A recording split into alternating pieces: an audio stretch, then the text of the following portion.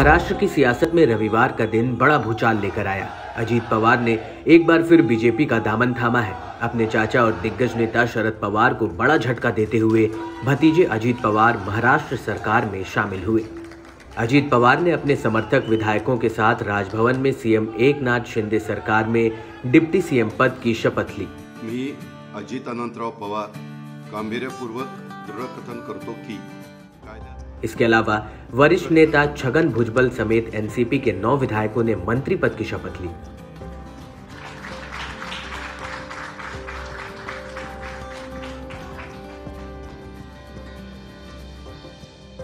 बता दें, ये पहला मौका नहीं है। 23 नवंबर 2019 की सुबह 8 बजे भी अजीत पवार ने सूबे में सबको चौंकाते हुए बीजेपी के साथ हाथ मिलाकर सरकार बनाई थी। देवेंद्र फडणवीस ने सीएम और अजीत पवार ने डिप्टी सीएम की शपथ ली थी। हालाँकि ये सरकार एक दिन भी नहीं चल सकी थी। शाम होते ही अजीत पवार ने समर्थन वापस लेते हुए सरकार को गिरा दिया था।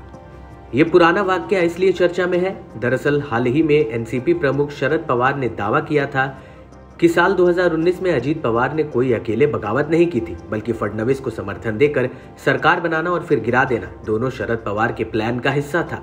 पवार ने कहा था कि बीजेपी सत्ता में आने के लिए किसी के भी साथ जा सकती है। मैं यही साबित करना चाहता था और ये साबित हो गया। आप इसे मेरा जाल कह सकते हैं या कुछ और? यह आपको तय करना है। ऐसे में शरद पवार का ये बयान रविवार को घटे सियासी उठापटक के बीच खूब वायरल हो रहा है। हालिया घटनाक्रम के पीछे भी शरद पवार का हाथ है, ये तो फ़िलहाल साफ़ नहीं हुआ है। मगर भतीजे के फिर से डिप्टी सीएम बनने और कई बड़े विधायकों के महाराष्ट्र सरकार में शामिल होने पर शरद पवार ने कहा कि एनसीपी टूटी नहीं है। पार्टी ने सरकार का समर्थन नहीं किया है, बल्कि ये विधायकों का ही फैसला है।